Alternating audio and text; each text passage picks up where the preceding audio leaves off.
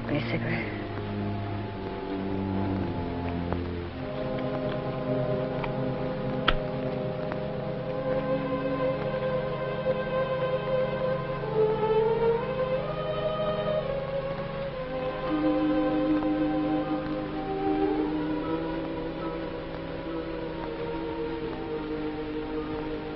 You're far away.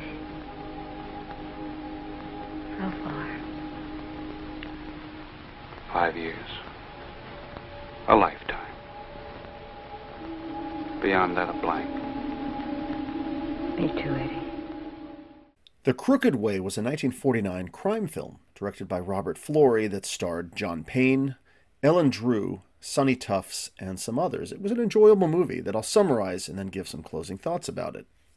Well, we open up at Letterman General Hospital, where we have the character of Eddie, played by actor John Payne.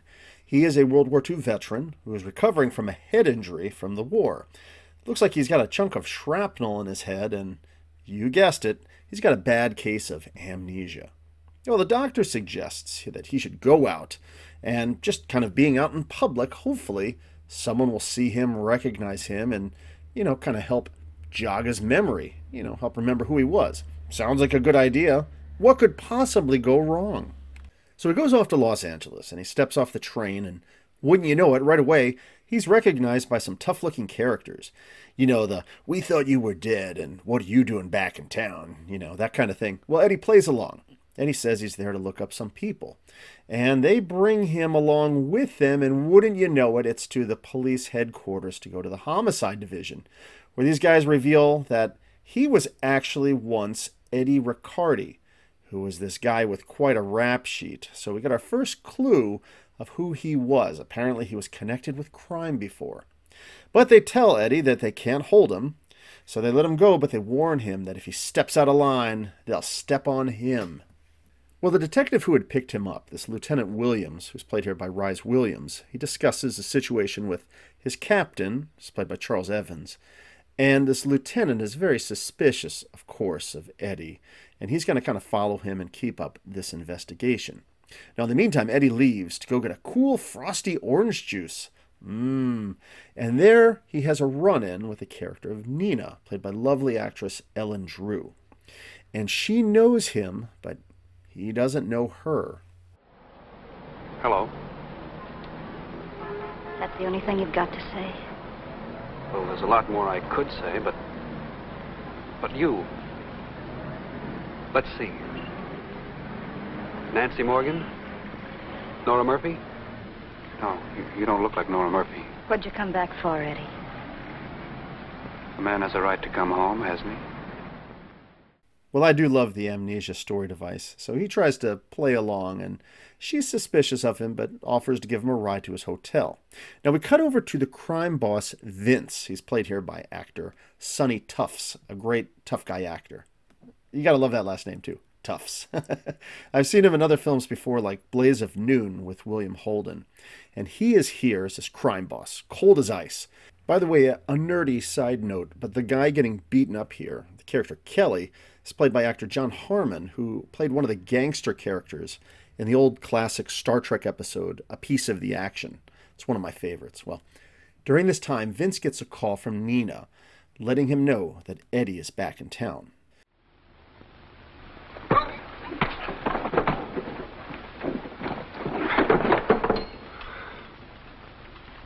I've been saving this for five years.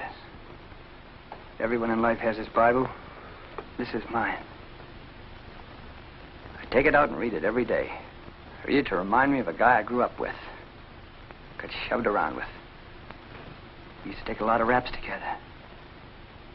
Some people would call a guy like that a, a loyal friend. He was. Until he turned into a dirty stool pigeon and let me take the rap for him. And we find out that he had turned stool pigeon and gotten Vince arrested, while Eddie had gone free and then left to serve in the war.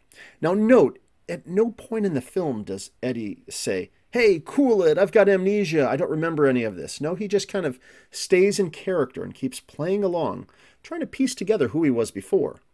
Well, Vince just says to him, yeah, Get out of town, then yells, give him some air, which involves being painfully pushed down some stairs. Ouch.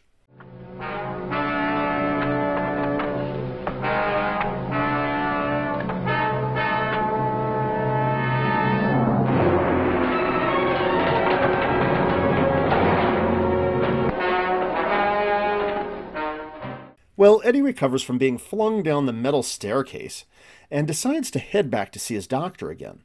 But on the cab ride there, he changes his mind and heads instead to see Nina again. He confronts her. He's getting a little bit animated, telling her that he doesn't know who he is and that she's the last person he can turn to. Please help me, he begs, but she's just not buying it. But we do find out that Nina was originally his wife, but had divorced him years ago and now works for Vince. She shows Eddie a scar on her shoulder where he had once burned her. So he leaves, but as he does, she looks down at a gift that he had given her when they were still married. So, hmm, maybe there's still something there. But we cut back to the crime boss, Vince, and he's there talking to Petey, who's played by actor Percy Helton, who was in a few episodes of Petticoat Junction. Oh, Rob, you can't go one movie review without referencing Petticoat, can you? Well, anyhow, he's this mousy little guy who works as a tail for Vince. Now, Lieutenant Williams shows up, and I love old crime films where they have scenes like this one, where it's the cool cop facing off with the crime boss, and you can tell they both clearly loathe one another. Kelly, he's gone and gotten himself killed. Just like Kelly. You never know what he'll do next. That goes for a lot of guys. Take you and then again take Eddie Riccardi. You boys forgive and forget and back in business again. You and Riccardi got a lot in common. Why don't you ask him? At the moment, you're number one. And it won't be any manslaughter charge and out in two years. I put you away this time, it'll be for keeps. You got all the answers figured out, haven't you? I might have. Sooner than you think. Ooh, so sorry.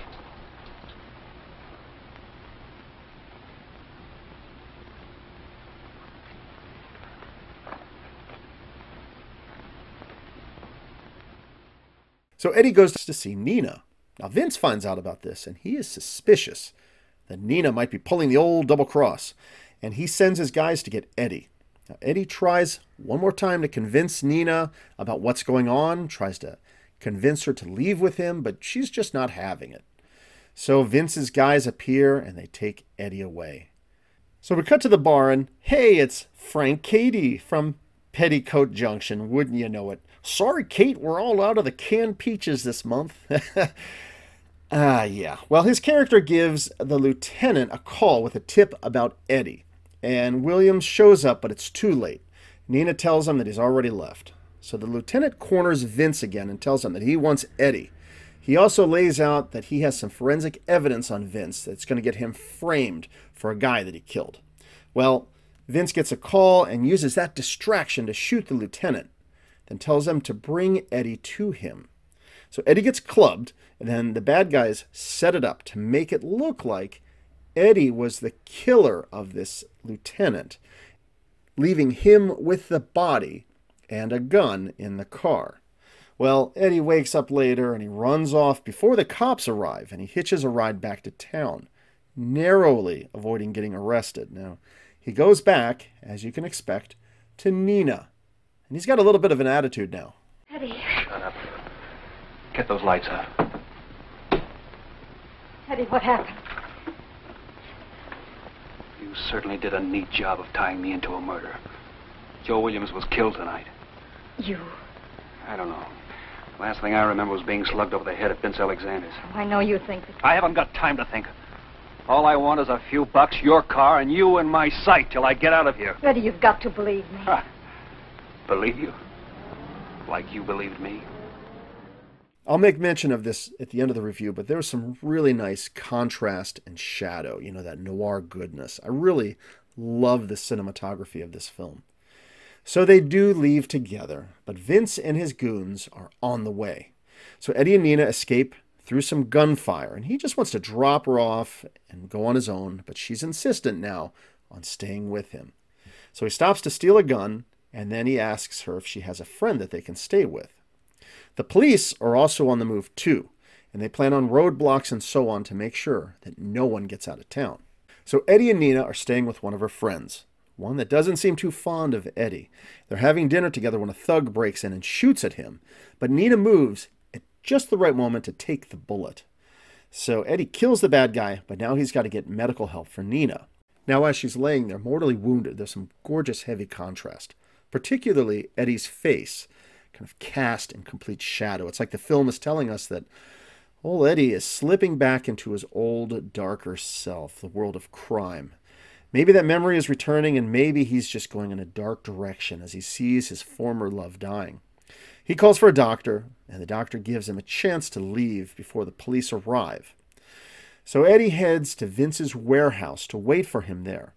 And while he's there, he meets with Petey, you know, the mousy guy from earlier. Eddie tells a cab driver who he is, knowing that this will lure the police to the warehouse because, you know, he is a wanted man, he's in the newspapers and so on. And it's here at the warehouse he's going to plan his final ambush on Vince. With only a little bit of the film left, I'm going to stop the overview here. No spoilers, I'll let you catch the ending of the film for yourself. The Crooked Way featured some strong performances, some great direction, and a lot of that moody, shadowy atmosphere that I love in crime films. Really had an engaging story that kept your interest to the very end, we really want to see what happens to Eddie and if he finally gets his memories back again. And yes, I know the amnesia device can be a little bit trite, but I mean, come on, I grew up in the 80s with stories of Magnum PI or B.A. Baracus losing their memory from a head injury for the sake of the episode, so I don't mind. I like it. Memory loss stories can be fun, especially when they're fused with that heavy shadow noir element. And I think it makes for a great crime story. The movie was directed by Robert Florey, who has directed a number of movies and shows, but most notably Tarzan and the Mermaids, which was my last review. John Alton was a cinematographer here, and again, I just have to point out the beautiful usage of that chiaroscuro to create that sense of depth and drama. The heavy shadows were just brilliantly used on John Payne's face through the film, really casting an uncertainty where his character's morality was, if he was getting his memory back, or if maybe he was slipping too far back into his old character as a criminal. And I really do admire actor John Payne, who played the protagonist, Eddie. You know, I really feel like he's in his element as a tough guy here. He was exceptional in the movie Kansas City Confidential as a jaded former veteran falsely accused of a crime in that movie. The guy always seems to be getting a bum rap in these films. Well, except for Miracle on 34th Street. This film had me noticing a trend of crime films of the 40s, and that's the theme of a returning war veteran trying to find his place in society again. I was reminded of Robert Montgomery in the film Ride the Pink Horse, where that post traumatic stress was a real thing, even in movies 80 years ago. And even here, maybe we can see that amnesia theme is representing how the character Eddie can't quite find out where he belongs in society, or better yet, who does he even know anymore once he's home from the war? Maybe that's a theme I'm reading into a little too much in the film, but I do like the idea of the hero that's returned to a transformed world. I'll be honest, watching the film, I really didn't feel the chemistry of his relationship with the character Nina, played by Ellen Drew. She's a great actress. The film really builds, though, on that distrust, and then suddenly felt like they had all worked it all out and they were on the run together. But watching this, what I was left wondering was, you know, Nina makes mention of the past physical abuse she received from, you know, old Eddie. But how do we know that when his memory is fully restored, he won't revert back to the same old abusive character he was before? Amnesia is a tricky thing in these old films, I guess.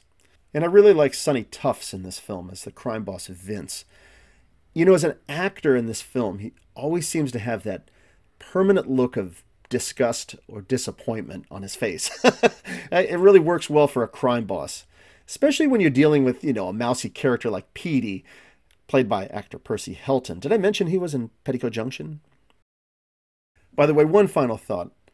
If you look at the movie poster for this, over in the upper right hand corner, doesn't that look an awful lot like Robert Mitchum? Is it just me? I mean, that's part of what got me curious to check out this film. I was looking through other films done by Robert Florey, and I saw this one and thought, hey, a Robert Mitchum crime film, but alas, he's not in this film at all. But hey, it's still a great film anyway, even if the movie poster is a little misleading. Well, those are my thoughts on the movie The Crooked Way from 1949. I thought this was an excellent crime film. Again, beautiful use of the heavy contrast in the black and white. John Payne was excellent in this film as usual. And there's several copies of this on YouTube as I do this review, so you can go see for yourself. It's an excellent crime film and it's worth checking out.